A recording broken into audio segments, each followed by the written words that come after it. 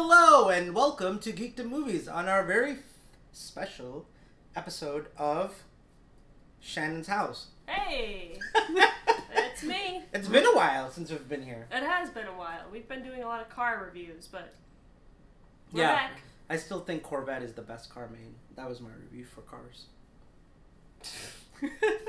Well, I for one like the Ghostbusters car. I think that was one of the best cars That's- made, right next not- to the. DeLorean and. Oh, don't you dare! No. Don't you dare compare The- that to the DeLorean. It can time Um, travel. No, It no, can no, no, no, time no, no. You're not listening to what I'm saying. The Ghostbusters vehicle is not as good as the DeLorean. The DeLorean Oh, is oh, okay, here. yeah, Yeah. Then it's say, the I was gonna 80s say. Michael Keaton Batmobile. Yes. Yeah. And then all the way down here is It's up Ghostbusters. here. It's No, up it's there. here. Fast and Furious goes here from the 90s before before the Ghostbusters funeral home car.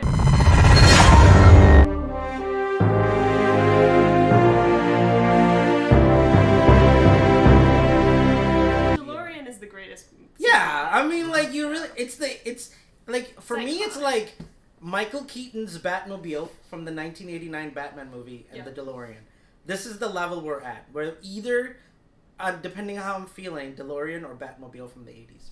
That's that's my review. The. Ghostbusters car is up there. No, it's up there. it's really yeah, not. no, it's a great car. Bill Murray's up there. I mean, well, he The- drives the car. yeah, I love the sound. The, the thing that I love about the '80s Ghostbusters is when they turn on the on. the machine that does the you know like whatever it's called. hmm That sound is better than the car. That I could live Yeah. on that sound. I love I did not that sound. understand that. That sound is just amazing to me. That sound effect, I can't. Zoom, and it just goes. And they said it in the end. That, electrical humming. yeah, like it's beautiful. Like if if that was a soundtrack, I just listen to it just turning on and off. I just wish electricity sounded that good. I mean, it's it's true, and I'm so happy that they actually kept that sound in this movie from the original '80s and the effects, even like the effects from the '80s Ghostbusters. Anyways, we're already jumping way too far. I did. ahead. I did see Grace Randolph's review. She said she cried in this movie at the sound effect of that thing that you're just talking about. Yes! She turns on the backpack. It's weird. I always agree like, with A Grace. sound? Really? Like Yes. that was not what I was expecting. Watch any review and then watch mine of any movie. We always Yeah, you guys agree. agree Without even talk, like I don't even know her. All right. All right, so we are here to do Ghostbusters. Now, I am your host today because, well, I just don't know enough about these kids and what this really movie.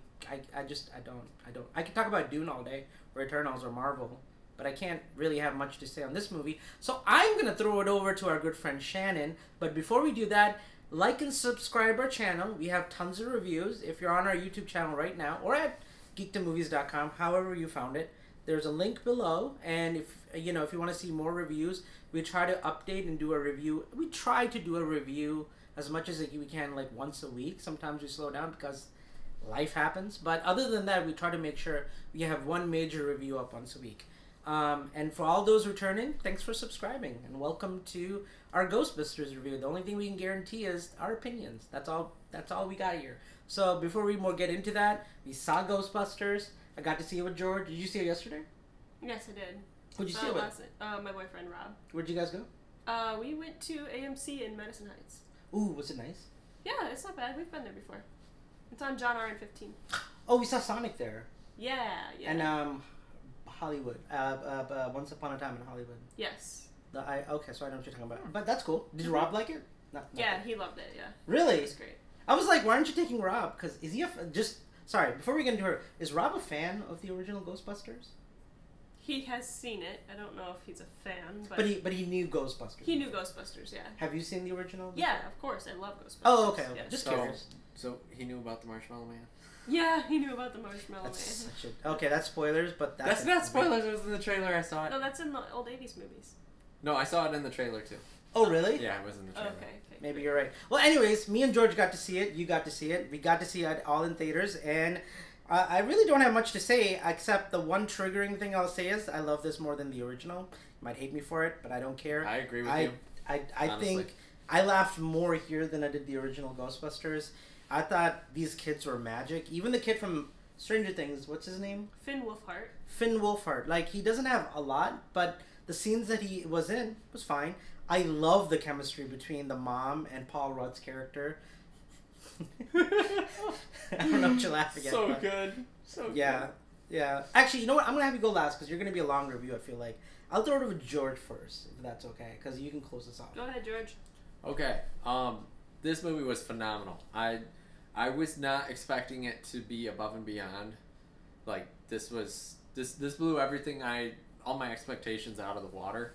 I, I granted they weren't that high originally, except that I knew Paul Rudd was in it, so I, I knew to set him at some pace. Sexiest man in the world. There and we go. 55 years old somehow. I, I, it's amazing. It's absolutely amazing because yeah, he looks so young. Yeah. It's not a shock that Paul Rudd looks good as he does. Anyways, keep going. It's So not that this is about Paul. he Rudd. was. well, I mean, a lot of it was his acting was phenomenal. Yeah. Um, once again, just like an Ant Man, he is hilarious. He's absolutely hilarious, and I really that's that's my favorite style of character for him. Um, yeah, so, yeah. Uh, his acting was phenomenal. Um, there, I, I would have to say, I, I wasn't a huge fan of like the plot. Like the, the plot itself wasn't absolutely amazing or anything. But it didn't need to be. It didn't need to be Yeah. because this was this was basically you know just like uh, essentially a connection to the old movies. yeah.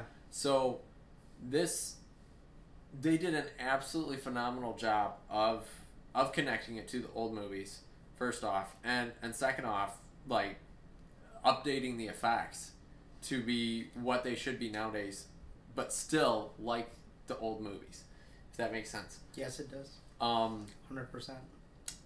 it was just absolutely phenomenal i don't remember i do remember that it seemed a little strange the music was kind of loud at certain points throughout the movie That's because we were in Dolby. Oh, okay. Well, that explains it. Um, I mean, you like Dolby. I do like I do like or- Dolby. The lady- Not the- in Dolby. I didn't have that problem. Yeah, I'm Okay. sure. The lady, this girl in front of us, I remember this. She went out of the theater like this because it Oh. was so oh, loud. Wow. And I was like, this is, even for Dolby, this is a little too. It did seem a little loud for Dolby. Yeah, I, I'm glad I saw it again. It was loud in IMAX too. So I think it's just the sound design. So me and Stephanie, Okay. I saw it twice now. I saw it last night with Stephanie and we got a chance to see it in IMAX. It was still really loud in IMAX. So I think that's done on purpose maybe. So extra loud becomes even louder in Dolby. IMAX it was just regular loud but still loud. Yeah. All in all, it was it was a really good movie. I mean, I was almost in tears at the end of it. It's Yeah. there. There are some really moving moments. I was not ready for emotional. I high was not ready for that either. Ghostbusters. And all I- of. I- I, yeah. that's, that's the thing. I was like, really in Ghostbusters? Yeah. Why? Why do you have to turn on the feels here? Uh, It's so good though. It is. New York It is in the 80s. really amazing. It's like the they really did a good job with the Your servicing the fans of the original, and then also making it its own new thing. Yes. Ooh, you know what? We're gonna jump to. Uh, do you have anything else to add? That's about it. What's I would your- say go, go watch it? it. Go Yeah. see it in theaters. Yep. All right. Um, Shannon, you were already talking, so might as well throw it over to you. Well, I had about five little kids sitting in the right in front of me, like seven, eight year old kids, right? Oh, really? Yeah. And they were, you know, talking and everything and during the previews and then they were focused on the screen during the rest of this. So as I was watching this I was thinking, you know, this is like maybe these kids' first intro to Ghostbusters or maybe they just watched I'm sure they grew up with it. It's a pretty classic movie that parents probably. Nah. uh, they were only seven or eight years old, so I don't know. Yeah. I mean, saw Ghostbusters been when I was five or six. Yeah, yeah, but it's not. 80s. It's not like a big Oh, sorry. movie nowadays. in the That's 80s. true. It's not, yeah. So, um, like, I don't think Gen Z really grew up with Ghostbusters. They probably may have seen it in passing, but it wasn't like their movie. Like, it wasn't like their big thing that I like we all grew up it. loving it. I'll Yeah, and you're only a few years younger than me. So, like, Yeah. 13, 14 year olds that are going to go see this movie, this is their Ghostbusters. So, uh, the whole time I was watching it with that perspective in mind, and I think the little kids really liked it. The Were they laughing? I think so. Yeah. I. I mean, their dad kind of fell asleep. their Makes dad sense. was snoring in the chair in front of me. I almost wanted to kick his chair, but um, the kids liked it, and I think they did such a good job with a the the casting.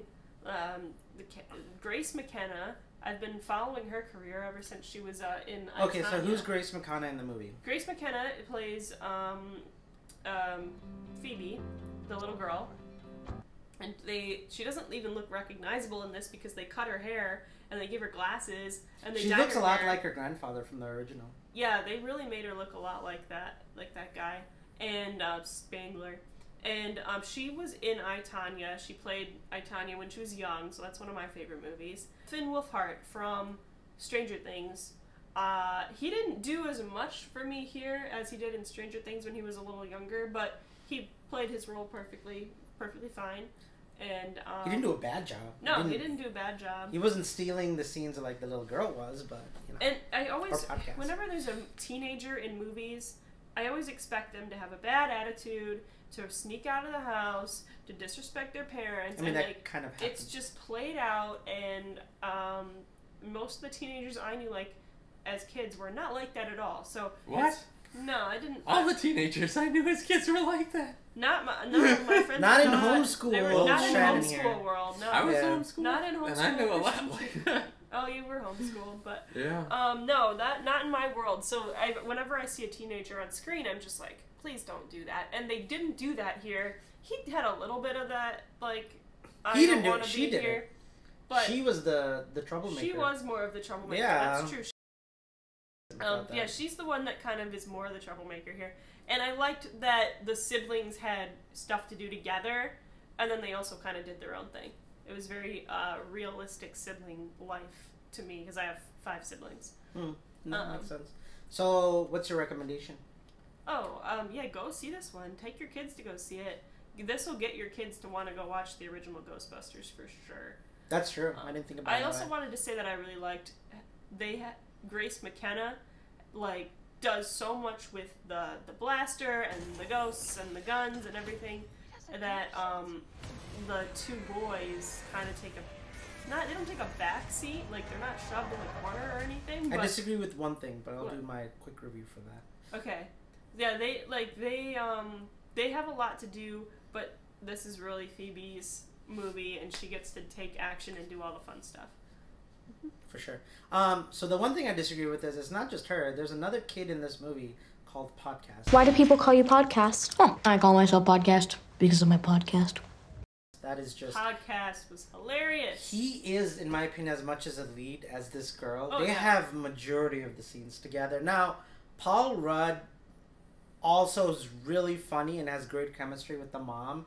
The teenage love story could have just been completely taken out. you That- could have taken the teenage girl out of this and nothing would have changed. right, like I, I think it was just there to. Add diversity, Or- add a love story plot. I think set to add the for the love story, movie. yeah, They wanted It's- to set her up for the next movie. yeah. you know what they did though? That they had the they had to have one black girl so that there was four Ghostbusters and one black one. They had to do it.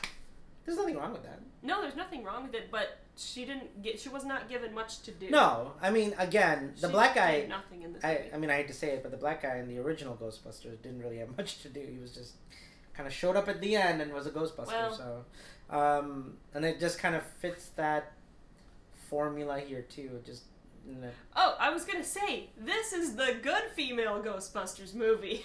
Yeah. Yeah, So how- okay. Right. all right. I have a question about that. Yeah. uh, but let me let me get through my review real quick. Now, this kid podcast. I don't know this kid's name the real in real life, but his on-screen chemistry with this girl and his jokes Fantastic. both of them just like really were riffing off one another in a great comedic Good. Both had good timing. Both were yeah, just way mature beyond their years for their acting that they did. yeah and i i love that line it's not spoiler so i'll just say it but there's a there's a line where it says like all right you don't have to say yes it might be moving too fast but do you want to be my lab partner and she's like yeah yeah. And it's like but i don't think we're going to be doing any labs. I just thought that line was so great. And all of his little like intros to his own podcast where he's walking with the mic. And then there was another scene where like she's pointing the gun and he's pointing the mic. That was hilarious. it's just so great. And him driving there's like a little rv thing that he's driving like this remote RC, yeah. control trap for the ghost. And he has it hooked up to like this like yeah what is it called RC car. RC car. It's so great. He's it just it just works. Uh, there's this great like ghost chase scene where they're chasing Slimer, through the town. That scene just played out was brilliant. Like there's a lot of communication that needed to happen between her in the gunner seat, him with the RV roller co- coaster thing, and then their older brother driving the Ghostbusters car. It was just magic. Like there's just some scenes that just you're like this is working on every level. And for me, great action, great like comedic timing between the three and both all three communicating well enough to like know what they're trying to accomplish here without it being corny or draggy or anything like that Mhm. and that consistency stayed and played out the entire movie um, just how they investigated and how they even the girl like you said like she's not she's a love interest but when she was there she was adding to the overall story and situation that they were trying to solve or accomplish True. um, it's it's a really well done movie, and then I also just like to add I don't know the mom. I, have never seen the mom in any other movie or TV show. Have you guys? No, No. I didn't think she was very likable in this movie. But there is a scene where she references like I don't know how to connect to my daughter. I've been trying for a very long Mhm. time, but I I feel like she's missing. Like you know, like my I can connect with the son, but I can't connect with the daughter. No, she, she was said that she was talking about the dad. She was talking no, no, no. the She was talking about herself. No, she was No, talking no, about no. the dad. She was talking about herself she too. was. Yes. She was. I remember she said to Paul Rudd's character, but she says, "I don't get her, and I don't know how to talk to her." Yeah, because every time she tried to talk about her science stuff, her mom was like, "Ew, boring. I don't want to hear about that." And so I'm She also has- the mom for that. She also has the she also has the trauma of their dad doing that to her, and she hated that side of her dad. Yeah. Remember True. the whole okay. science thing, and And that was one of the reasons why she didn't like science yeah, until Gotcha, Paul okay. Rudd was trying to reintroduce her to it. right. Okay. And she was like, "Science is great. Like your daughter's doing. She could be doing a lot of things, but the one thing she's not messing up on is like she's really good at being somebody who can problem solve and do all these amazing things with science that most kids are not into. It's like she's like, yeah, but like she has the trauma with her dad and she just doesn't get it. She's like, okay, but science is stupid. I don't know how to talk to my daughter about this. I'd rather have her pick a dress and talk about boys and play with unicorns and dolls, right? So, Mm. and she was not even remotely, even a little bit like that. She had zero interest in any of that. So for her, she was just like, I don't know what to do with you. And I think that's okay. Now we're gonna go to spoilers. Go see it. That's my review. Oh wait, no. Before with that, what have you guys seen the female Ghost- Ghostbusters movie that came out? Yes, How No, bad is it? It's bad. it's, really bad. I- Is it everything they said it was? It is like Like how- bridesmaids with ghosts. I liked Bridesmaids. I do like bridesmaids, but this was not. This was not good. It's like Melissa McCarthy making fat jokes, and Well, that's every Melissa McCarthy movie. and somebody else is making poop jokes. well, that's most and- comedies. Then there's just it was the not. one, It was the not very one chick good. from SNL. Oh yeah, K- Kate, Kate McKinnon or something. Oh, Kate no, McKinnon, you She, does the Yeah. Verizon ads now. Yeah. Yes, yeah, it's like her making a bunch of dumb jokes and I- Melissa McCarthy making more dumb jokes. I do think Kate McKinnon is the best in the SNL alumni right now. Whenever I watch uh, Yeah. SNL these she days, was good back then. Kenan Thompson and Kate uh, Kate McKinnon are the best in the SNL skits. Is Pete Davidson still on there? yeah, he's, he's Yeah. funny. he just doesn't. He's not as good as he used to be. Oh, I don't know. He, I think he's slowly phasing out of SNL. It feels more. I think I think it's because he started dating Kim Kardashian. he's Wait, wait, dating that's- Kim Kardashian. he's dating. How many What? times? wait, wait, isn't Kim Kardashian She's with married Kanye to Vaz? No, no, they they got What? divorced. They're in the middle of a divorce. No, they're and not. now, yeah. What? How have you guys not heard about don't this? know. I don't follow Follow Kim this. Kardashian. I don't. You don't keep up with the No. Kardashians, Neither. obviously. I hate. Kim and I I'll Okay, tell you so- right now. I hate the Kardashians. so yeah, they they were going through a divorce ever since the election, and Oh, I had Um, no idea. Yeah, Pete Davidson and Kim Kate- Kardashian. How long have they been dating of- for? It sounds like it's been maybe a few weeks. Months, Okay, so it's new. Like that. Oh, yeah, He, I mean, that's Pete Davidson is always with the A-list like movie. A list everybody. Yeah, like Yeah. the hottest woman in the planet. Somehow Pete Davidson is there dating them. Uh, but yeah, yeah. What was I saying? Yeah. So the female Ghostbusters movie, both of you have seen it, and you would say no go, not even a little bit. No. It's that bad. Yeah. Oh yeah, no, skip, skip, skip, skip. Just stick to this. Yeah, and watch the this. original. I mean, there's This is the good Ghostbusters. there's a few movie. funny things. I'd have to say probably some of the funniest parts are honestly like with. Let me really, guess, they're in really, the trailers. Probably. Yeah, and, you could probably and just um, watch a compilation. it's- most of the really goofy, hilarious ones are just Chris Hemsworth as the That's what I was gonna say. My friend said that watch it for Chris Hemsworth. I, that's yeah, literally just about it. yeah, I figured. Okay. Well, And anyway, they- yeah, they have Um, him playing a blonde. I didn't feel like the girl So. Ghostbusters movie respected the original. This is like a an op- like a, uh, writing an opus to the original. It like Yeah, loves and respects the original. it has the nostalgia feel that I felt when I watched Force Awakens. Like, do you remember berries? I call them the remember berries. Like Ghostbusters has that sprinkle of member berries from the '80s. When you watch it, like you know, Force Awakens. Do you remember this scene with Han Solo and Chewbacca and them? Do you remember this scene with Luke? I feel like there was a lot of Yeah. berries in this movie, and I think it was working for what it, South Park created the term member berries. Google it if you don't know what I'm talking about. Um, they call. It, Have you seen that episode of South Park? no, It's so great. Um, it's like uh, it's just like all these movies like who reboots or whatever s- sequels after decades later. It's kind of like it's like Jurassic Park. Like Jurassic Mhm. World did that. Force Awakens did that. Now Ghostbusters does that. It's just a lot of a lot of reference. Even the lines in this movie. Okay, spoilers. Three, two, one. Go see it now. Okay. Uh, the the the the, the scene at the end where where like the Paul Rudd and the mom become possessed. Yeah. That was weird. But that was in the original. Yeah. That was Sigourney Weaver and the guy from Honey I Shrunk the Kid's dad, Oh, Both, yeah, that's like- right. And they both become possessed by the this being that's in the movie at the end, but they become dogs. And they and they try to that. Are you the gatekeeper?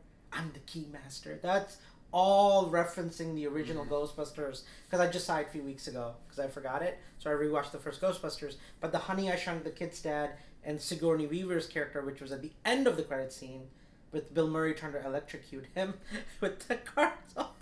Um, Sigourney Weaver and Honey I Shrunk the Kids characters both become dogs, and they kind of ins- they're like the bodyguards to the evil chick in this movie, who is like Hmm. uh, uh, so that's that's that's literally play by play what happens, and um, Sigourney Weaver's character becomes super horny, like to a point that is like unrealistically horny, and then the mom in this movie becomes super horny. he was looking for the mate to bring the basically the apocalypse in the original. So these two beings get possessed. They try to mate. That and- wasn't podcast, Sarah. No, no, she was doing that with Paul Rudd. No, That's no, no. what I a thought. podcast in the chair when she when they walk into the house with the kids, and like she's sitting in the chair. Oh, you're right. You're right. You're right. Oh, okay. Oh, yeah, that's Yep, yep. Right. I was I was thinking. I thought it was thinking the funny. scene with Paul Rudd and her, where Well, Paul that's- Rudd has a flower in his hair. Yes, yes. So Sigourney Weaver first tries to basically, too funny. basically, she tries to force herself on Bill Murray's character, and Bill Murray in the original goes, "Yeah, I try not to um, sleep with when there's an exorcism that needs to take place or some really Uh, funny joke. It's like I want you inside of me, and Bill Murray goes, "I think there's already too many. There's already somebody inside of you No, because she's possessed by a demon." That's funny. So she's just like Sigourney Weaver's character has become super horny, super like whatever, and Bill Murray's just trying to like push her off. And like she kind of did that with podcast, but they didn't take it as far as obviously with like Bill Murray's character, but enough to show like, hey, this thing that's inside of the mom is the same spirit that was inside of Sigourney Weaver's characters in the original, and the dad from Have you ever seen Honey I Shrunk the Kids? Mhm. And he was big helmet in um Spaceballs. Yeah, the um from that really famous musical with the plant that eats people. Sure. Uh, I don't know what you're referencing, but I'll take your word for it. I have no idea what that what you just said. But uh, is it a famous '80s movie? Suddenly Seymour. I- Uh, yeah, really famous movie. He the, the giant plant and it eats people. Don't feed the plant. Oh, I never saw it. Sixties music. Yeah, yeah, that looked like garbage. I never saw it, but I, great. I do know what you're referencing now. I don't even remember the name of the movie. I do know what you're talking about. So it is an old movie. But anyways, like they eventually meet and they eventually basically have sex, like Paul Rudd and she did. Um, and they try to bring upon like whatever this demonic thing wants, which is to bring the end of the world. But of course, What a weird plot for a kids movie, but okay. it's not a kids movie; it's the It's original. not- yeah. That's what Oh, happened in the original. But that happens in this one too. Well, they have to because they're they're doing mama berries. It's all about yeah. throwing yeah, back. Remember this from the first movie? Do you remember the Marshmallow Man? Now they're tiny and trying to cook each other and make s'mores. That was great. I know it was. Oh my goodness, that was so good. Yeah, like that actually happened in the the little Marshmallow Man. There's a giant Marshmallow Man. Right, I remember the giant one. Yeah. And then the scene where like Paul Rudd is walking through Walmart and then he runs into the dog and then he runs away. Honey, I Shrunk the Kids. Uh, father, before he got turned like Paul Rudd's character, actually does the same thing. He sees the dog, and he tries to run away. In the and he goes, he runs to Central Park from his apartment because the dog's chasing him from his apartment because it shows up in Sigourney Weaver's apartment, and and he runs out, and the dog eventually chases him down and possesses him, just like in the original. And then Paul Rudd and the mom mate as demons, just like the original. Hmm. And then like they basically have to kill the woman who comes as the main bad guy with the like gate opening, um, and they have to send her back to basically hell or her dimension. I don't know where she's from, but some form of whatever. Like basically, she's trying to bring the apocalypse. Is the original? He she's a some. This is actually real. She's a Sumerian god from the Sumerian culture. That's what they were referencing with all the artifacts in the cave or the mining stuff. It all that's that's all real in the Sumer- Sumerian culture they were talking about. That god in their culture from like Egyptian time was gonna do the same thing. That's what it's referencing. So all of that is just, just everything is just exactly like the original movie. In fact, that's when the movie kind of loses me because there's nothing new. I already knew where the movie was going because they were just replaying the original movie at, at a certain point. I would say the first half is better because there's something new happening, but once the original plot line kicks in, it loses all original. Like I was just bored because like the only thing that was shocking. It did lose me a little bit once all the crazy ghost stuff started happening. But see, that stuff is great in the Like the original because I'd never seen it before. Right. Yeah, but in the this, possession and this stuff, it wasn't. It was where it lost me. But it's only like 20 minutes of this movie, and the rest of it's all great. yeah, Ghostbusters the original is mostly funny because they're just trying to be Ghostbusters with ghosts. But then, you know, like this apocalyptic, world-ending ghost thing happens, and then it kind of revs up to stopping. It's an entire plot line from the original that I did not. That that just I know why they did it, and if it wasn't for the original Ghostbusters coming at the end, like Bill Murray, Dan Aykroyd, um, I don't know the black actor's name. Oh, the why they broke up the whole company? No, no, no, them just coming in. I wasn't expecting that. I wasn't expecting Bill Murray and all of them to come at the end and do the. It you- is really cool that they got all four of them. In the original, okay, so in the original, if you've seen the original Ghostbusters, she looks at Dan Aykroyd in the original 1980s Ghostbusters when they're like standing on top of like the Empire State Building and the the pyramid and the statues, just like the movie, are just on top of Empire State Building, and they're at the very top, and they're like they have their guns pointed at her, and the first thing she says is, "Are you a god?" And then Dan Aykroyd's like, "No," and then she uses her fingers like like Star Wars with the like like what is it called when Darth Sidious does it? Oh, Palpatine? like the the Force lightning. Yeah, she in the original 1980s Ghostbusters, she does that with lightning and tries to throw them off the Empire State Building. Oh yeah. And then they grab on like last second and hold on and they end up like not falling off the Empire State Building. and then the black guy goes, "If somebody asks you if you are a god, you say yes." Ah! And that's what made that so hilarious. and then in this movie, she It's does tough this to be a god. And in this Yeah. movie, she says the same exact line. And she says, Are you a god? And then he just like waits for a Yeah. long time. No, no, no, no. The best part is, like, Bill Murray first goes, I think she remembers us. And then, and they're like, Yeah. And she smiles and she goes, Are you a god? Uh, And Bill Murray and the black guy just look at Dan Aykroyd. And Dan Aykroyd's just like staring at her. Yes. that's funny. We're all gods.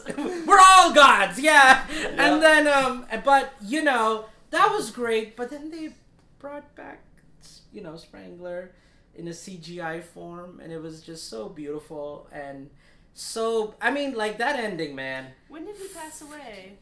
The 2014, I think. Oh, okay.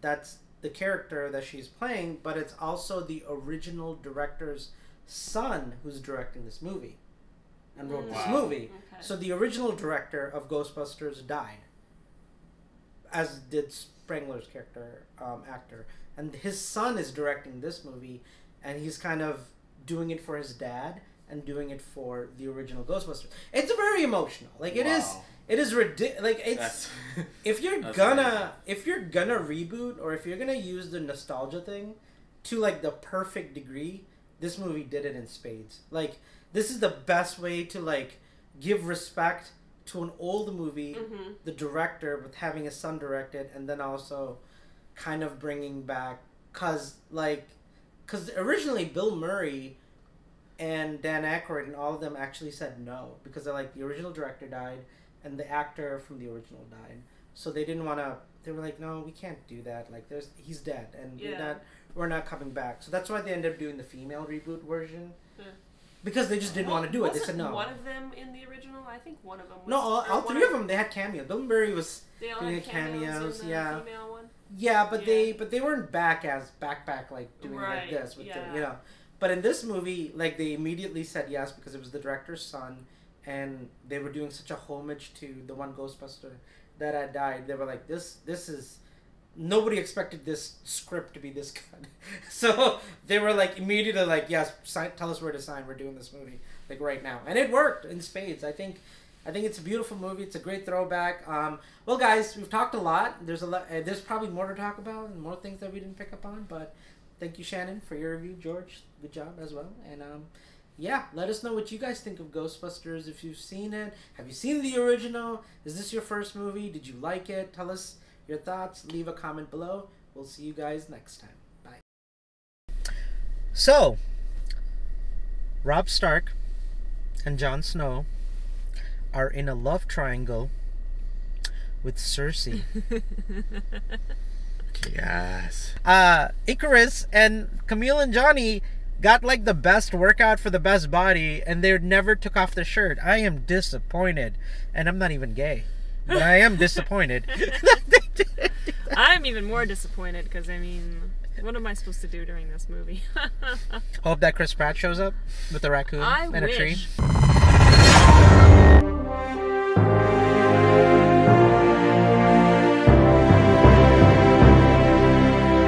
Hey everybody, welcome to Geekdom Movies. We just walked out of Eternals and we're excited to talk about it. I'm Shannon, this is Fahad, and last but not least, this is George Bogdan. What'd you guys think of this movie? Well, I'll go first. I'm Yeah. gonna give you guys a little a little tidbit, a little rundown. So if you've been watching this channel, you know that I am not heavily invested into the Marvel universe unless it's Spider-Man because come on, Tom Holland. Or Guardians of the Galaxy because come on, Chris Pratt.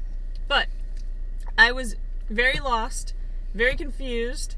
Um, the movie has a lot of good visual effects. It has a lot of interesting things to look at. It has some interesting character ideas. There is one character in this movie who just, every time he is on screen, the movie comes to life. What's the Pakistani guy's name? Kumail Nanjiani Camille and Johnny. He stole every scene. stole Yes. every, Every scene scene. he was in. Yes. Literally, I, if this movie had just been his scenes, I would have loved this movie. Shannon's making a new Marvel script with uh, Awkwafina from Shang Chi. Yes. And Kumail Nanjiani. Oh my gosh, this, that would and be then, amazing. And then um, Scarlet Black Widow's uh, dad, the Russian It's gonna be Captain Florence America. Pugh, Chris Pratt, Scarlett Johansson, Kumail Nanjiani, and Rocket Raccoon. That's Oh. my perfect Marvel movie right there. That's and all. thus starts the Shannon Marvel Cinematic maybe a little, Universe. uh, maybe a little, maybe a little Star Wars, a, a little Spider-Man, a little Spider-Man. yeah. You can throw some Tom Holland in there for good measure, but that would I be a f- perfect movie. I feel like you come for the side characters. I I kinda I do. Yeah, I, I think feel I'm it. here for the comedic relief. Yeah, you're like, all right, who's funny and who can I focus on? Forget all the superhero Well, muscles. That's what made that's what made Guardians so good. Is the whole movie is led by the comic relief character. Yeah, that's no, that's true. Yeah. Guardians is just silly character like Suicide Squad. They're just silly. It's like 7 Mm-hmm. comic relief characters. Yeah, It's within their movie, which is not very normal. Anyways, I'm here to go first. I had the great pleasure of seeing this movie twice, but I wanted to experience it with George and Shannon, so I decided not to tell them that I'd seen it before. You had I could seen tell. You'd Yeah. already seen it. I tried not to You were ruin your reacting experience. before things were happening. so- I, I did knew. not know that. Wow. That's true. You did do that. Well, my um, my wife and my good friend, and he was like, "We got to go see it." There's a Pakistani guy in here. My friend, um, he's uh, LGBTQ, and he was like, first gay superhero, first Pakistani. Figure out if Sprite was a boy or a girl that entire movie. That was on purpose. She doesn't have a gender in the comic. She's just kind and of like, that was kind of why she was upset. and that's why she was upset. she wanted Yeah. an identity. She wanted to be normal, and okay, why she? I thought that I was just really dumb. and No, no, no, no. Yeah, like I mean, my friend was really happy last night. He got to see a first. I mean, it is kind of a big deal if you want representation. I mean, I've never gotten a Pakistani superhero in a Marvel movie. I'm I'm really happy about that. That's that. true. Uh, and he never got to see a superhero that was uh, you know, um, gay. Is gay Wasn't- allowed? wasn't What's the Captain right word? Marvel, Wasn't she? Is it is it okay to say gay or am I saying something I wrong? think so, yeah. fine, He wa- was gay. That's Yeah. okay. There's nothing. Yeah. Okay. Um, Wasn't Captain Marvel lesbian? no, No. no. Okay, I don't know. I sure felt like it. I, yeah, right. I think, yeah. I mean, I don't know, but I mean, she's not supposed. They haven't said she's gay. Like in this movie, they made it very clear. No, he is gay. Let's talk about some things. I saw the critic reviews pouring in, and I was very disheartened because, you know, you guys know I've been talking about Dune Eternal since the beginning of January. Oh yeah, you really have. Yeah. And these have been two of my biggest movies. Um, Shang-Chi was a great surprise. Black Widow was, eh, it was okay. Uh, you know, Quiet Place 2 was Shannon's thing. Um, that was great. you know, but for me, like Dune and Eternals were the ones, and they're like two weeks apart, uh, which is even crazier. So I was like, oh man, can one of these actually disappoint? So when the reviews started pouring in that they're not good, my heart really kind of like like I felt like air just went right out of my body. I'm like, come on, like this is this movie sounds great. How could they've messed this up, guys? Don't listen to the critics this movie is it has its problems. I'm not I'm not gonna rave it, and it's not better than Shang Chi, but it's fantastic. Don't listen to us because we're critics. Well, we're not like New York Times, Newsweek, Washington Post. I agree know, with you. I don't understand We're not into why, the boring movies. Yeah. I don't. I'm, I'm into the boring movies, but I don't understand why the critics hated this so much. so let me let me let me start with my review. Okay. All right. So I saw the reviews and they said there's a lot going on in this movie. One, I. I there's There no is. there you, there's no way around it. They're literally doing in the beginning there was Arishem the god of the Marvel Cinematic Universe and he sent beings called Eternals and Deviants. This is the thing. People said the action sucks. It's not funny. What are you guys smoking? I have no idea. This movie is freaking hilarious. Um, the action. Oh my god, the last thirty minutes was. There's a lot of action. Yeah, Yeah. like, and not bad action. Like, actually, okay, here's one of my biggest critiques of Marvel. Sometimes they, they just throw things on screen just for it to be a Marvel movie. Like, big action sequences with no real drive just to make it big. Like, Yeah. they don't feel. I got a lot of that during um, Black Widow. Oh yeah. Yes, yes. That was Especially- almost entirely. Like you literally put a base in the air just for the sake that she had to fall out of the sky while bringing this Yes. spaceship down. It didn't feel like there was any reason for it. But Mm-hmm. you know, I mean, Marvel does action well, and you know, when you're watching, you're like, I can forgive this. You're putting it, you know, it is a Marvel movie. But a lot of the times, besides Infinity War, Endgame, and like you know, Avengers movies, I feel like there's a point to the action. Sometimes there's just a lot of the Marvel movies. There's just not. It's just throw money at the screen and hope people like it, right? Uh, That's what people are going for. They're going for the action. Right. And so it's it's understandable why they do it. But this is the first movie I can say that the action actually makes 100% complete sense in where that story is going and what they're trying to accomplish and how it relates to the characters. And for a f- for having like 6 7 Eternals in this movie with all their distinction, they're all very unique but you knew exactly what each of their motivation is in this movie, which is absolutely like wow! I can't believe you accomplished that. Um, and and the other thing is, I love the cinematography in this movie. I think Chloe Zhao, who did um, Nomadland, her camera work Oh, is she did- another. She did Nomadland. That's right. Yeah. Yeah. And she's known for visual effects, and you get those. I mean, there's so many shots like of Babylon, the That was cool. beach. Um, there's just the shots are just they f- like desert, um, like India and Iraq and they Set Alaska. Set in a Bollywood. so That was great. Can I just say, N- Camille and Johnny's uh, little like um little camera guy. Oh my god, I want him in Oh, every yeah. movie. Oh yeah, he was How many great. cameras do you have? You always bring a backup, sir. so, you know, this movie has a lot of things going for it that a lot of people don't want to see, which is give me action, give me superheroes, give me funny lines, and give me explosions.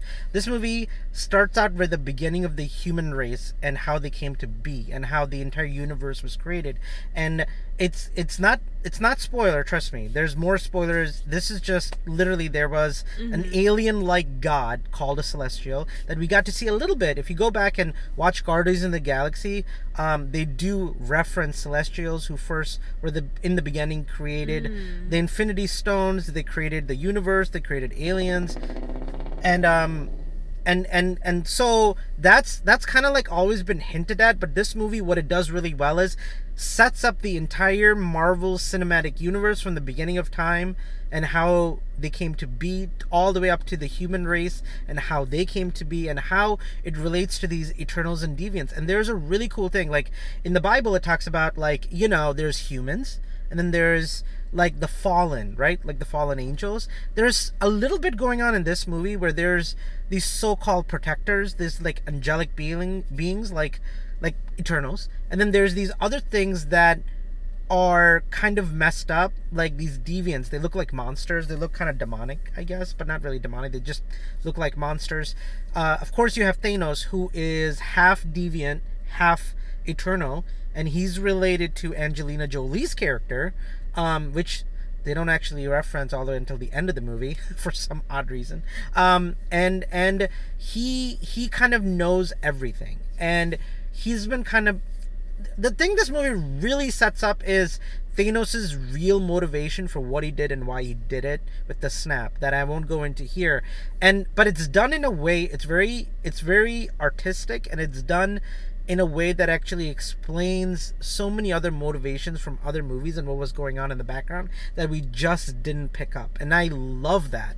Um, the other thing that I loved about this movie is, you know, I, it's it doesn't feel like it doesn't feel repetitive. I don't know if that's the right word. It feels like wherever they're going in this mm, movie, mm-hmm. it's a new area, a new place that has something to do with the storyline in itself. I agree with that. And I love that it takes place 7,000 years. You have these people who have been living on this planet continuously over time. Yeah. And some of them get really bored, and some of them get really tired. Some of them have their own motivations to seek life and do other things. And all of it somehow relates to the core of this film.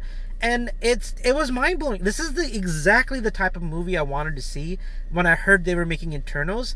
So for me personally, I think they just they they were. I mean, this movie has spades. uh, It's so dense. It's full of so much going on in this movie that I can't even talk about. You'll but probably end up watching it two or three times if you like it. Oh, just I'm- get all of it yeah, like I'm definitely re- re- rewatching this movie for sure. for a third time. Yeah. Yes. And so for me like I I love it. It's so it's so the world is so big, not just the world, but this whole entire universe and the setup is so big and I'm really excited and there's more I can say, but I you know, that stuff comes in the spoilers. Is George. I was just bummed out that um, it wasn't actually the guy from Doctor Strange in it.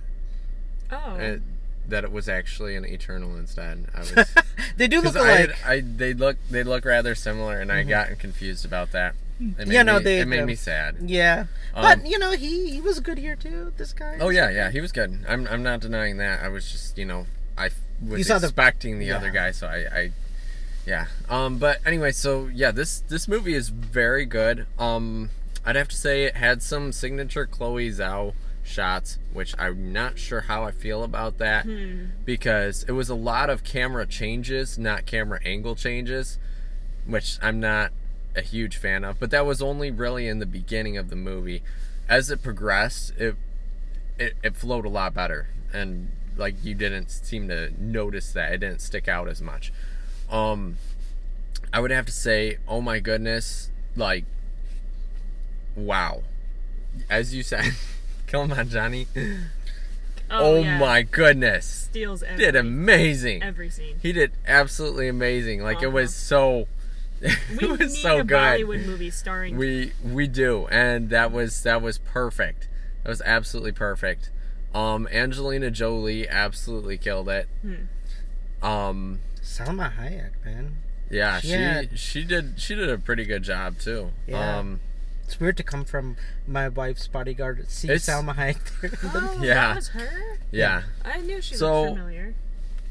something that they did a phenomenal job of here and this this really isn't spoilers because you know it's it's all part of it and you know this going in is the way they set up like through different time periods and how it flowed mm-hmm. it it made it feel like it was kind of a blur which was really cool because you know that's how it would Oh. feel to them. If they were and it was just it was just kind of like you know they were it was just like a flow. Like you didn't it wasn't like it wasn't like really like set thing like oh this was definitely from this time this was definitely from that time. It was like it kind of like flowed and you could just sort of like feel the flow of it mm-hmm. which was really cool.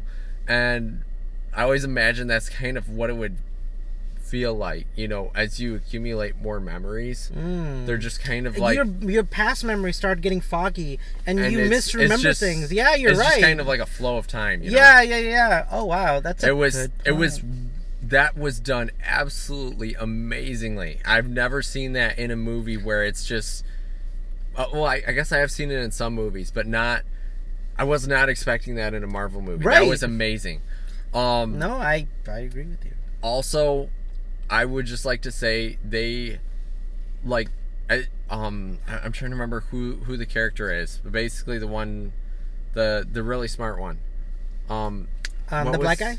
yeah, what was his name? I can't remember his name. But they he, he did an absolutely amazing job of portraying that character. Like that was phenomenal. How do you step in and give education and science and tools, technology, I guess, but also at the same time they could use that to. I Yeah. liked I liked him and the kid. Um, he looks like a kid, but he's not. He was the one who lived in the Amazon, and the things that he was saying were so profound to me. Yes, It's the one who could like We could, yeah, you know. just it was it was just phenomenal. Just phenomenal what what they were how they how they portrayed all of this. The story is really the most amazing part to me. I Yeah, mean, the did- shots yeah. were so good too, but yeah, it was it was phenomenal. Now I I do have to say some of the things that ended up um like showing later in the movie, they were kind of given away at the start and I I I Is didn't really Oh, okay. I didn't really like that they sort of like gave him away like that. But Hmm. um we'll go into that about. in spoilers. sounds interesting. Um, but yeah, this movie is definitely a really good movie. It's not your typical Marvel action movie. There's action. There's there's a lot more story to it, and just like it's almost We're it's going closer to dive. a it's closer to a slice of life kind of. A little bit, but it's also like mythology. We're going deep dive Yes. into like places that I didn't think Marvel would ever have the balls to like commit to. Absolutely. That's that's really the most profound thing about this movie is that they're taking a chance to make something so unique and different and talk about things that they would you would never think about. They're I mean, I philosophical thought about them, but yeah. I mean, But what I- yeah. there's They a would- you would that never- with Thanos. Nobody would normally portray that in a movie and Yeah. actually like put that out there as an idea because Yeah. it's so it's so like shunned as an idea. Right. So To it go was across seven thousand years. No, No, not just just that. that, no, like just some of the idea of like some of the origins. yeah. like it was it was really interesting thinking about that and you how the? Marvel Cinematic Universe was created. And it, it it, was it, it was phenomenal. Yeah, like cuz even in like the first scene you see is just like that in the beginning like the Bible there was God. And it's like in the beginning there was Arishem the celestial Yeah. who created the universe and these beings so-called gods created planets and they're basically I mean it's it's it's I'm like what? What are we even watching? And I Yeah. don't it's like a whole new universe that It- it does to be feel like of it. the MCU. Yeah, and, and yeah it's it's amazing that you know i mean I- i'm not sure how i feel about like the fact that they just like came out and just it literally almost felt like star wars like reading like that. I like that, that. though. it was it was interesting. I i thought it was i thought it was a good way of explaining it. Yeah, you know um i just i was shocked they wouldn't choose uh like a narrated version instead I think they were maybe just trying to get the audience to go be like, "Hey guys, this is gonna be something very unique and That interesting." it did portray that. and much different from regular marvel Yeah, Thor's not Yeah. coming making jokes, and there's, I mean, there are jokes, but this movie is very artistic and very unique looking. It doesn't feel like any other Marvel movie that has come That's before. that's very true. In all of the Marvel movies, they always started off with giving you a few hints towards the story, and then like you're like, oh, okay, so that's kind of what's going on. Here, they literally put it in text, and then start showing you the story, right. which is really interesting because like yeah, they've never they've never done that before. yeah, True. yeah. Well, hey, I have a question. So uh, there's a scene at the very beginning where Sprite changes her. is it spoilers? Should we wait? No, it's at the very beginning. And there's a scene where Sprite like change. Well, okay, yeah, it is spoilers. I'll go into it later. Well, let's actually let's go into that. So I'm um I'm gonna go. Uh, I'll I'll have George go next. Uh, but um I say I I highly recommend this. If you're if you're a Marvel fan, I think you and and the audience score is such a night and day difference. Yeah. These critics do not care about this, so they're already like making this movie rotten because I they're think not. I think one of the reasons why is because of some of the Chloe Zhao shots, like towards Well, the they love that beginning. crap. I don't think I don't think they That's did. what they loved about Nomadland. I don't think they did because that's a different. It's a completely different format. For the no, no, movie no, style. I, I, I read. so a- the fact that she yeah. actually brought some of that into this felt really strange, Okay. and I'll go into that in spoilers. No, I, I okay. So I did read a lot of the critics, and they were saying like, I don't care about this story. I don't care what happened in the past. Why is this interesting? Why should I care? That's what the critics are saying. But you see the audience score, and it's like ni- it's like ninety percent. There's, it's it reminds me of the Last Jedi. The critics loved Star Wars: The Last Jedi, but the audience score was like 20 30 percent, and it was like a night and day difference. Now we're switching. The critics don't like this movie, but the audiences are responding really well. It's already on its way to make it's already on its way to make more money than Shang-Chi and Black Widow right now. So that's a really good sign of like what's to come. I mean, I I think Kevin Feige was really smart to be like I think our audience is ready to like go somewhere deeper with the Marvel Cinematic Universe. Absolutely. He felt that heartbeat and completely took it. I don't think this movie could have made five years ago. It really is a movie that Yeah, only no. could have been made after Avengers Endgame I agree. Yep. to to really answer these really deep philosophical like deep historical philosophical questions that they're kind of like unwrapping for us loki also is kind of doing that in a very different way but loki did that really well wandavision's kind of doing that right now too um i i'm i'm just i i think i think the audience wants wants to grow and mature in the Marvel Cinematic Universe. We've seen the capes and the superheroes and the Avengers and the dance, and I think we're ready for something different. We don't want another Avengers movie. We kind of want the same exact universe that they have set up, but maybe take it in a very different direction, but still make it entertaining and good. And I think them doing that, really changing that, like Shang-Chi did it. Like, Shang-Chi was like, what am I even watching right now? And yeah, it's still, Shang-Chi's a superhero movie, but the places they went and the things that they did in the last half of Shang-Chi is nothing like anything I've ever seen in the Marvel Cinematic that came before. And, and, and so I'm just, I, I think you guys will be really pleased. Forget the critics it's not made for them it's made for us us who are fans of the marvel cinematic universe us who have grown up watching thor and captain america and iron man and all these movies who've watched thanos like i think it's made for you george final I agree. thoughts I oh agree. okay Um, I I would have to say this movie is really amazing. I think even if you're not a Marvel fan, you might be interested in this. Uh, it might, like, it might like pique your interest in regards to like the origins of the the Marvel Cinematic Universe, because they're not they're not at all what appeared in the previous movies. Like in regards to what it what you might have thought from those movies, what it, the origins were. So I would have to say go see this in Dolby if possible because you know I love Dolby. Um, we got to see it in Dolby, and it was fantastic. Um, Yeah, I you know I got to see it in IMAX last night, of course. And um, the big blow up scenes with the IMAX cameras that they used with the visuals, it looked great. But in Dolby, the sound effects is good. You it depends what you're into. I'm I like always both. into sound. Yeah, I'm so always into sound. So if you if you like beautiful cinematography and image, for me Dune had to be seen in IMAX. I couldn't see it any other way. Eternals, I'm glad I saw in IMAX and it was fun to watch it in Dolby today just to see the difference. Um, but yeah, you're right. Like it it it sounded great. It even looked great. Honestly, Dolby looked looks great, great. Yeah, it still looked beautiful. I think for me personally, if I see the name Marvel, I'm not not Sony Marvel like Venom. I'm just saying like the Disney Marvel Cinematic Universe. Mm-hmm. I'm I'm gonna be excited to see it because Yeah. they haven't let us down. They understand their audience. They understand what kind of stories they want to tell, and and they know what audiences like. And I, I can firmly say the critics are completely wrong on this. We're we're gonna go into spoilers now because there's so much to dig into. So to sum it up, I would say watch this in theaters. oh, you didn't say that yet. My no, bad. I thought you, you did. cut me off. Shannon, your thoughts? Yeah, if you like Marvel, you're gonna like this movie. Uh, the critics are wrong on Rotten Tomatoes. I don't understand why they didn't like this movie. It wasn't my thing, but I think it's gonna be your thing. If you're into movies and you're into Marvel, definitely go see it on the biggest screen you can find. Yeah. All right. So we're gonna go into spoiler part. So please come back later. Go go watch this movie. It's totally worth your time. Please don't watch this review or this spoiler review until you've seen it. Um, we're gonna go a little bit of deep dive. I have a lot of questions that. I have a lot of questions. All right, Shannon. How about you? Th- Okay, uh, so at the beginning of this movie, Sprite turns herself into an adult woman Yeah. to flirt with Icarus or some guy at the bar. Some guy at the bar. Some guy at the bar. Yeah. Why didn't she just do that again and then date him?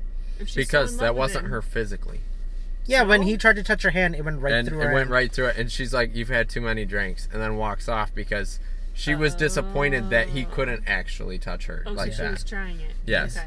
Now, why couldn't she be with him in her form that she was in? Because she looks like a little girl. That I mean, that So wasn't what? the only She's problem too. But old. Yeah, the but if it's the good other enough thing, for Bella in Twilight, it's good enough for Sprite. I don't think the audience wants to see a little girl getting hit on and taken advantage of by adult men, even if she is seven thousand years old. It makes sense You from an gotta- audience perspective. It Yeah. does not make sense from a 7,000 year old's perspective. Of course, no, I agree with you. Yeah. But again, that's us knowing One of- her, not the uh, not the people in the world. the other thing yeah. They should have too given her a is different reason that she couldn't be with him. Because I think if they're both 7,000 years old, they would have gotten past that a long time ago. but he didn't like her. He didn't likes like her. Cele- Okay, he that was that's a good that was reason. that was the reason was Okay. because like e- she wanted to basically be able to live a life Gotcha. Okay. on Earth, and she did like him. yeah. He, however, liked Sersi. So Okay. Also, wasn't he a murderer? Why did he murder that lady? That was brought up in it. So what what basically happens is Arishem, the god of Cele- the one who sends them to Earth seven thousand years ago, Okay. or whatever it was, when they came to Earth, the only person that knew exactly what their actual mission was was Salma Hayek's character Ajak.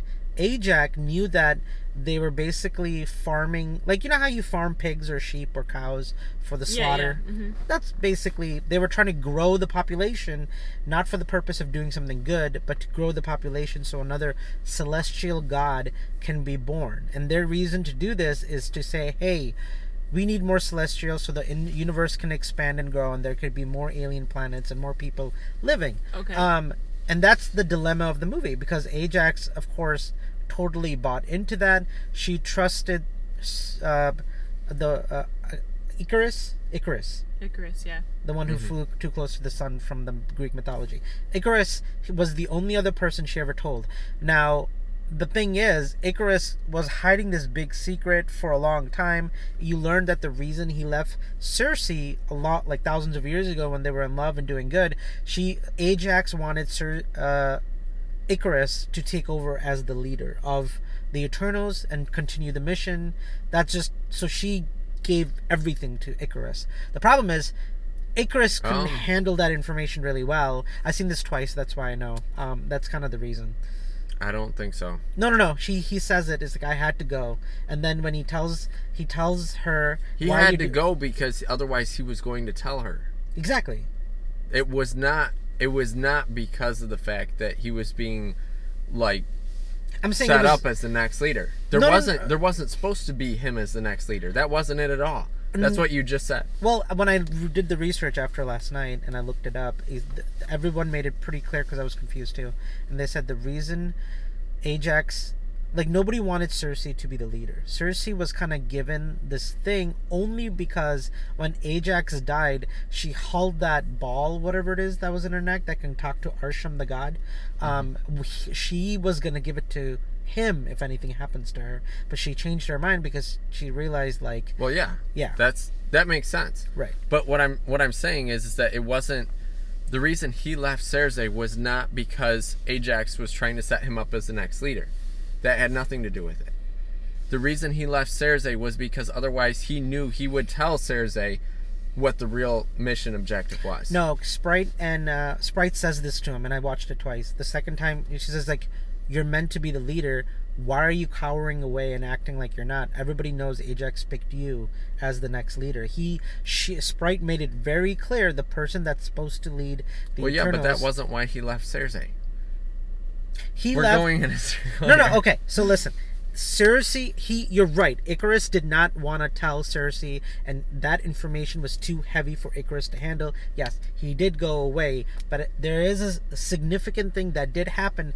Whatever it was, hundreds, thousands, whatever time frame. Yeah. That Ajax did tell Ikaris, "I'm giving you all this information if anything happens to me." Yeah, and leader. that happened right before they left Babylon, or right when they left Babylon. Right.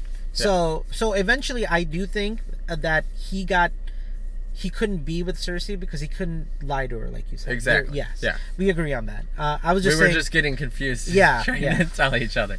uh, yeah. Okay. Um. uh, So so when he does come back, and then like suddenly Salma Hayek is coming up on a horse in South Dakota, and was like, "Hey, yeah, no, we're not gonna go with Arishem's plan here.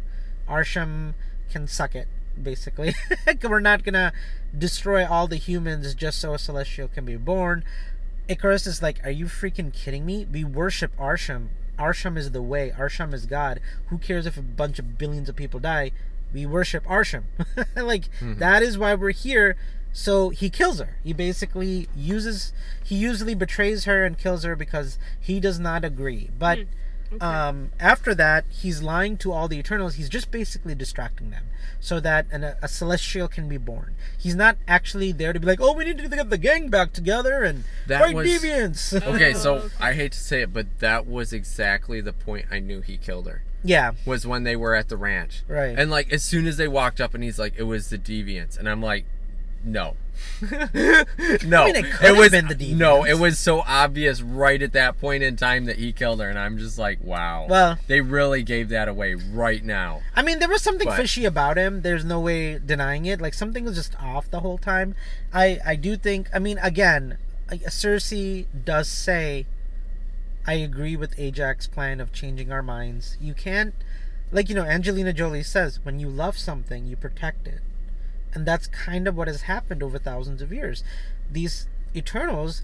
have continued to grow and live and be part of these people and see only- civilizations and they all love humans in their own way one person wanted to bring technology the other one was like maybe i should be a god like that guy who was basically like i'm gonna take these people to the amazon and it looked very like cultish but really that one you know that, no, that was just a straight up cult. That was that was what that was. No, I- yeah, but he It wasn't- he, he- he wasn't evil. He was No, just trying to protect trying humans in his own way. yes. by presenting himself as a god instead of hiding, I guess. Yeah. Um, and all of them had very deep philosophical ideas on what it means. Ajax, Salma Hayek's character, was like, we love them and we protect them from deviants, but we don't interfere and help them grow. We don't prevent sickness, we don't prevent death, even though they totally could.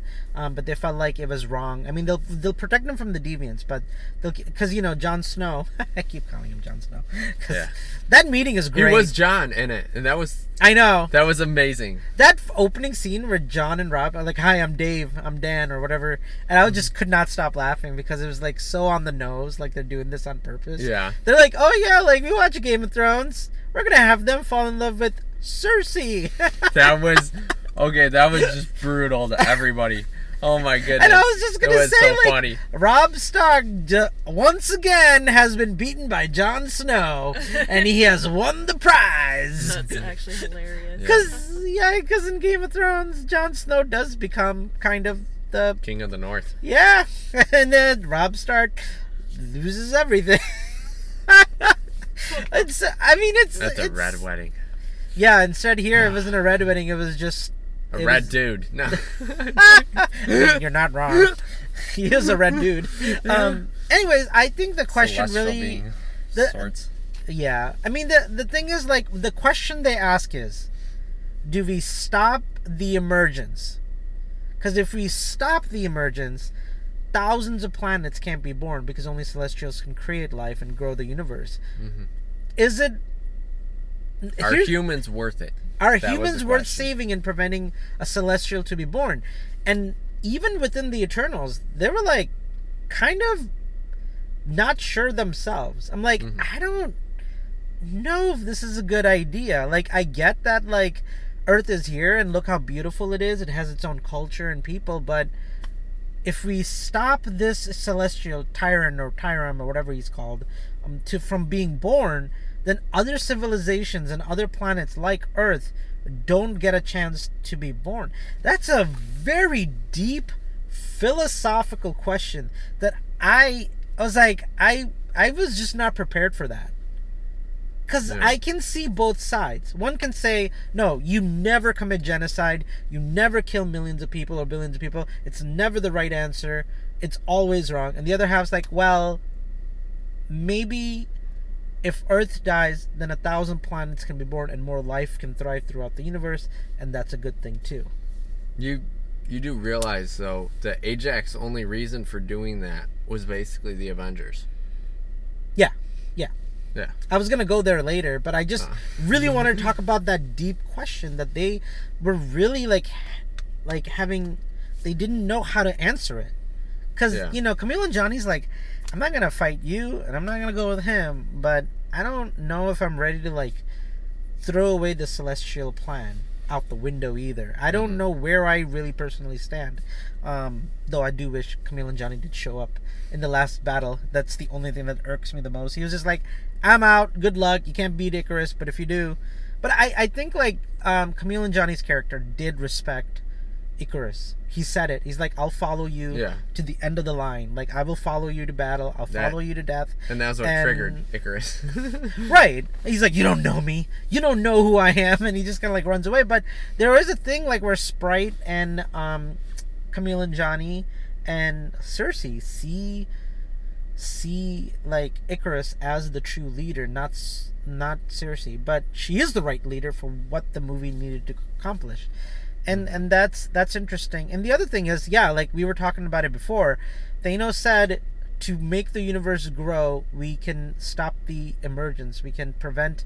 He did pro. I mean, Thanos is the good guy.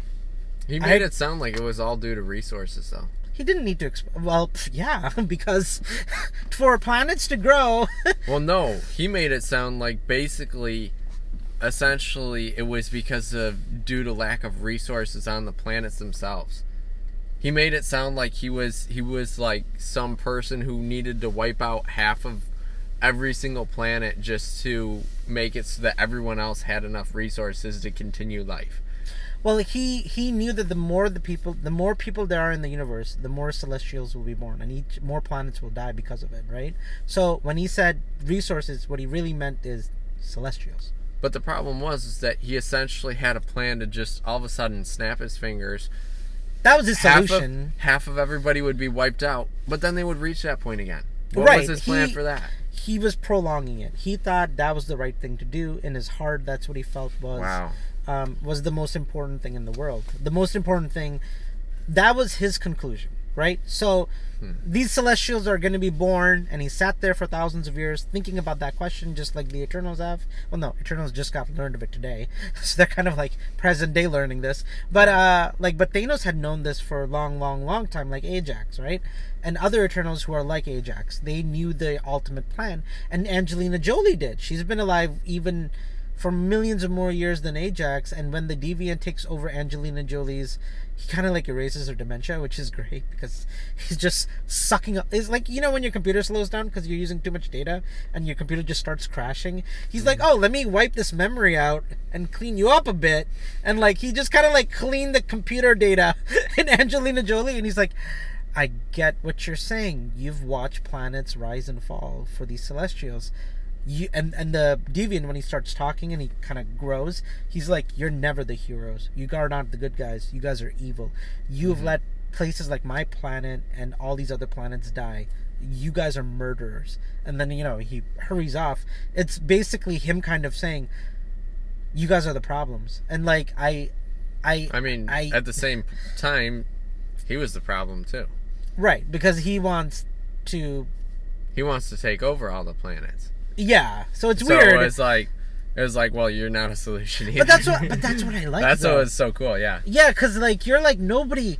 There's no white and black answer here. There's only It was almost What? like it was. It was like as good as an anime story. Like I was thinking yeah, of in regards Genshin. To- of was like an anime story. in where regards to like, there's not a clear like you know good and evil. good and or- evil. There's yeah. basically like you have you have conflicting reasons for doing different things, and it's not necessarily that one is completely bad. Yeah, you know? and and and the thing mm-hmm. that I liked one one thing my friend said was like Thanos never explains it to the Avengers, and he never explains it to humans or any of these because he feels himself he is a god. And why do you? Why would you want to come down and explain your answers? To an ant as to why you're building the driveway and Yeah, right. Mm-hmm. pushing their anthill out of the way. You know, because I'm he just wouldn't. kind of I'm kind of shocked though that he didn't really say it to Gamora. That is one thing Yeah, that's true. because he told Gamora a lot of things, Mhm. but he didn't. but not tell her that. everything. Yeah. Yeah. Thanos, Thanos, I mean, Thanos does have his reasons, I mean, and he doesn't need to explain it. Just like Ajax had her reasons, and Ikaris has his reasons, and Sersi and all the other Eternals have their reasons. They're all basically dealing with the big question that that that doesn't really that doesn't really affect the Avengers. They talk about Odin, which is absolutely. It's like, I did Kumail Nanjiani say, Odin used to run around and he wanted to be me and he looked up to me. And then he got to be all almighty Odin the father. And now he doesn't return my calls. That's a That hilarious, hilarious. line. And now he pretends to be a god. Whatever. I, I don't need anyway. That was so funny. Odin is um Thor's father in the. Thor's father. Yeah. Yeah. Oh, that's right. Okay. So Kumail Nanjiani, the Pakistani guy, was like, I knew Odin when he was like a little boy. He used to Yeah. follow me around and think That I was, was God so and funny. cool. and I was like, wow, like these guys really are kind of, and they're and they're battling insecurities, and they don't have anyone else to talk to about the things that they're dealing with except each other. And I do think Sprite is right, and I think when she says we sh- and Kumail Nanjiani actually said like we should have never disbanded because then Ajax would be alive right now. She wouldn't Yeah. be dead. And I and I and I feel like their family squabble. You know, like they did have issues. They did fight. Like the one what is the guy's name who lived in the Amazon? What was his name? Um, it began with a D. wasn't it? Druid. Druid. Oh, Druid. Yeah, yeah. yeah. Druid. And he was like f- like I'm just going to take all these people and they were like in Mexico, right? It was like the It- Mexican yeah, it was it was like the the Mayans, Aztecs, something, like, that. And he prevented them to start killing each other because Oh, yeah. whatever it was. Mhm. And he's like, I'm just gonna take them, and I'm so sick of this. I'm so sick of being told by Arishem the god, the celestial, I can't step in and prevent war. Basically, Mhm. Right. he thought that, and he disagreed. And Ikaris and Ajax both the disagree. He's like, the only way you're stopping me right now is if you're murdering me. So are you ready for that? And obviously they didn't want to kill him, but they were like, okay, well he's made his decision, and that's when Ajax says, "Go, go and be free, go out into the world and do do find inspiration to live and be um you know and and there's just god this movie is good i really love this movie i really do It's amazing. Yeah. It is so philosophical. It's it's phenomenal. i mean i Uh, can't stop thinking about it It's another Marvel movie where I think that if I understood what was happening, I might like it. i i think I I, think so. I, I think if you I mean again, you know, you said it best. When you watched Guardians of the Galaxy the first time, you didn't really like it. You watched it again and you picked up so much stuff. Yeah. And every Marvel movie is unfortunately made that way. Es- Mm-hmm. Especially They this are- one. They are Yeah. very rewatchable. Yeah, and I and I think Marvel knows that. It knows that these people are gonna watch these movies four or five times. So it's okay for us to kind of leave breadcrumbs and kind of make them watch it the first time and not pick up some certain things and watch it again. They're, they're they know people like that stuff, so they're of course gonna do it. Um, so I again, like I was saying, I I can't. Wow, like I the places this movie went, um, you know, I'm still trying to understand it all. I mean, uh, let's let's have a fun conversation a little bit, not so much philosophical, because we can go deep dive there. Harry Styles shows up What in the world? as that was awesome. Thanos' brother. Brother, Yeah. yeah. Was his stepbrother? No, it was no his brother. Okay, and oh my goodness, that that is a mic drop of an epic scale. Um, man, Crazy. and he looks good. Like he, He looks. does He look good. does look really good. I know. I was just like, Man. this is very interesting I don't know because what they're feeding those people over at Marvel, but man, they always make their men look great. it's the Marvel cinematic diet on how to turn Chris. Somebody said like, "Oh wow, did you guys see Kumail Nanjiani? He went from like looking like a nerdy skinny guy to like this Yeah. buff dude." And you're like, "It's the Chris Pratt effect." Yeah, yeah. They have, it is. they have, uh, they have figured Personal out the formula to they like. have- they probably live on like water and ground beef and I don't know. I, yeah, it's probably like a I think pure it's a lot more complicated than that. protein. no, it's probably like a, a very very high protein diet and drinking only water and then Yeah. working out like seven days a week, three times a day. I'm sure they're on a pretty. Probably so. yeah. Working out their entire life for like a year. Unless you're Hugh Jackman, then it's three amazing. Every decades. calorie Or Chris is Hemsworth. counted. It's two every, decades now, Chris everything they put in their mouth is calculated. and- Right. Yeah. That would be so amazing. I mean, you get paid millions of dollars to look like the hottest guy on the planet, basically. Yeah. That's Not a basically bad deal. not a bad deal at all. But Yeah. again, I think the reason they get they're really good actors. Like when somebody said the guy from um, Chron- Chronicles of Narnia and like the, Oh, the Meet yeah. the Millers, you saw that image and I was you were like, oh my god, that guy. What? He looks What the amazing. f? Yeah, he looks incredible. I'm Yeah. so excited because he's such a good actor. So He we'll see where serious it goes. glow up. Oh yeah. Glow up. Globe of the year. Yeah. Yes. Hubba hubba. Yeah. He's a great little actor too.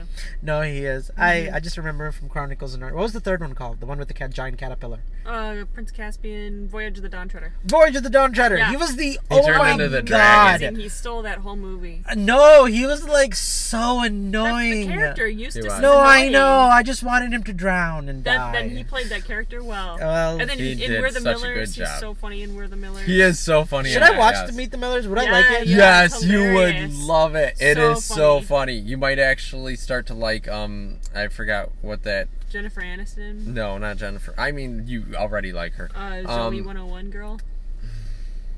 She's was it isn't she like the granddaughter of uh one woman Oh, from she's Sound Emma, of Music? Emma Thompson's. Um, no, Emma not no, not she- Emma Thompson, Her name not Emma. Her the actress's name is Emma. Emma s- something. Yeah. But she's the pretty and Emma pretty, pretty woman's not, niece. not Emma Andrews. She's the niece of the pretty woman lady. No, no, she's not. Yeah. I haven't seen the movie. Well, maybe I- she is, but she's also. I thought she was Julie Andrews' uh, granddaughter. Oh really? Yeah, Wait, who's? Maybe. Emma Roberts, Look I think. up. Oh, Emma Roberts. Emma Roberts. Yeah, that's. I knew it was an Emma. She's. I've seen her in things, but not like anything big. Like she's never really She's really. really, good in We're the Millers. Oh, really? Yeah, She was in Zoey 101, I think. Wasn't that her? Or was that I have Jamie no Lynn Spears? clue. Hmm. Number one question: Who's Harry Styles in Eternals? I gotta know. All right. This well, is a major spoiler. Uh, let's see. Da, da, da, da, da. Oh my god, just tell me. Da, da, da, da, da. Watermelon sugar. No. da, da, da, da, da. Eternals. Da, da, da, da. Harry is Eros. Oh yeah, Eros was his character. Yeah. I told you it was Eros. It was not Star Fox. I don't know where you got that idea. They did say Star Fox. They did say Star Fox. But they also they said didn't. Eros. Yes, no, he, he they, They, said, both. Star Fo- Fox, but they also well, said he's Eros. he's called Star Fox because he's the best um, fighter jet pilot in the universe. He when he Oh. flies his ship and he fights people, he's never been defeated. Let me once. Is guess. Star Fox, like from. I It know, was Star Fox Star Lord. Let me guess. It was Star Lord who gave him that because Star Lord used to play Star Fox. Ah! Watch that be the the story behind that it. That would be cute. But but what is he really in Super Smash Bros? Star Fox. Yes. So there's a Marvel cinematic character in Smash. It's not Bros? supposed to be the same one, and that's why I'm so upset about this. Oh. I don't like the fact that he's called Star Fox. This is wrong. Yep. On so okay. many levels. So the mid-credit scene from Marvel's Eternals movie introduces the brother of Thanos, Eros, aka Star Fox, played by Harry Styles, along with the teleporting pal Pip the Troll, voiced by Patton Oswalt. Oh, of course it was Patton Oswalt. Yeah, so Marvel, uh, so Disney actually s- um, took the name of Star Fox directly from the Marvel comics. Actually, they did that on purpose, um, and they actually made him a fox in the What? Nintendo thing. Yeah, yeah, because he's Huh. called Star Fox, Captain Star Fox, in the Marvel series. He is the he's basically undefeatable. If anybody to fly a ship and try to take him down. They will always lose because he is that damn good. He's like the Top Gun Maverick. He's like the Tom Cruise of flying ships in space. Um, Man, I kind of want to watch something he's in then. Make I'm- some movies of him, please. I mean, I, honestly, like that is the only casting I've seen where I, when he they, they introduced Harry Styles as mm-hmm. Star Fox, Arrow's brother. and I'm I like, just lost it. I well, lost I- I- it. First of all, perfect casting because Yes. that's if you read no seriously, if you read the comics, there's this there's this kid who basically outs the like basically the galaxy of like anyone and everybody like these they got these big macho men who like fly ships and they're monsters and they're big they look like hulk and they're like we'll take you down and then this kid gets into his ship and just completely devastates and like kills them and like destroys them and they can never win. I Yeah. mean perfect and he's also kind of kind of a playboy. He's kind of uh he knows he's good looking and he knows he's getting checked out and he's not afraid to tell you yeah and he's not afraid to tell. Um, Angelina Jolie. Angelina Jolie. He's not. He's ready to tell. Hey, listen, cousin, I'm hot. You're hot. God's wanted this to. so, Kit Harington, Jon Snow, is the great, great, great, great grandson of Arthur, whose blade he wields. He's called the Black Knight in the comics, and the sword he uses is a sword that was made by Merlin. And the sword actually corrupts him, um, and makes him, I guess, darker, like you were saying. Yeah. And so that's that's who he is and where that goes. I think that's gonna tie to Ant Man because in Ant Man we know that Kang the Conqueror is gonna be in it. Because Kong the Kong, well, Kang the Conqueror was the bad guy at the end of the Loki series. Did you finish Loki? Yes, I did. So that But guy I is didn't know King. how, how does that have anything to do with Ant Man. Oh, they just announced that he's going to be the main bad guy in Oh. Ant Man. So if that's the case, I think they're probably going to have Jon Snow, Kit Harington's character, in Ant Man to fight King the Conqueror. Because the only person that can defeat King the Conqueror in the comics is not Loki or Ant Man. It's actually Eros. uh, no, no, no, Kit Harington, Jon Snow, Knight? the Black Oh, Knight. okay. So that's where I think that's my theory. Now they could do something very different. I prefer they do a like Kit Harington deserves its own movie as the Black Knight because I think that'd be That really cool. would be amazing. Right. So I mean, they're definitely planning something. Marvel never does anything without a reason. They did so many nods to to like uh to Game of Thrones that they just they need to do they need to have one of them take a major role. And after Well, I mean- Ikaris ran into the sun, um Uh, Did he? Okay, so that's that's. I don't think Ikaris is dead. I think he went into the sun to power it. He did something, but I don't believe he's dead. Because I didn't see him fly into the sun. I saw him float above the sun. Like you know, He was going myth- straight to it. In the myth, he flies too close to the sun, so the ma- the wax on his wings melts. However, Yes. However, Neil deGrasse uh, Neil Oh deGrasse Tyson was talking about how if The you sun- if you were flying closer to the sun, you would be getting higher in the atmosphere. You'd actually get colder. Like Wait. if you go up into an airplane, you freeze. They have Well- to heat the airplane. Yeah, but that's here on Earth. Yeah, Essentially, but the myth was on Earth. well, yes, Yes. and that was that was yeah. Yeah, It could have been debunked if they had known anything back then. they didn't I'm- know anything. but I'm just saying, there's a 50-50 chance here that Ikaris isn't dead. I mean, I don't blame him if he killed himself I didn't because see him die. I don't that's what I'm think- saying. Here's the thing: I don't think he did it to kill himself. I think he was wanting to power the sun for some reason. Because here's Power the sun. Or he was losing energy and he was trying to power himself up because they're robots, right? Technically. The That Eternals are be. because remember, But they how said that. how how could he draw from the sun? And what would he turn into? Well, I I don't know, but there is an Ikaris Eternal storyline that has something to do with like Superman, because you know Superman needs the red sun to power up. Ikaris is basically like they actually say it. It's like you're like Superman. They're literally referencing Yeah. Ikaris, the DC comics, which is crazy. Batman and Superman were referenced in the Marvel Cinematic Universe. Mind blowing. Oh yeah. Yeah. I didn't even think about that. That's a whole nother Huh. rant that we could go on, but we're gonna ignore it. But like in the in the in the comics, he's like Superman who gets power from the sun. I don't think Ikaris is dead. I think maybe he's either gonna be like Invincible, where he leaves the planet and then tries to come back and kills the family like Invisible did, So, or final thoughts, guys. that's what we're talking about.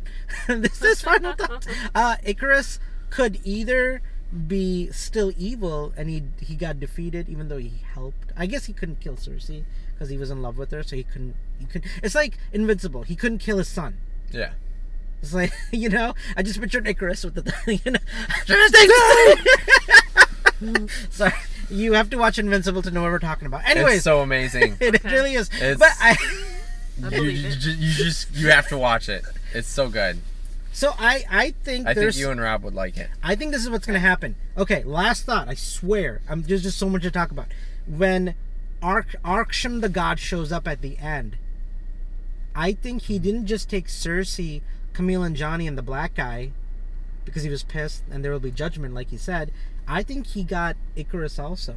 I think he captured Ikaris as well, and maybe he's programming Ikaris to fight them and bring again the the destruction of Earth. My theory, you could say I'm wrong.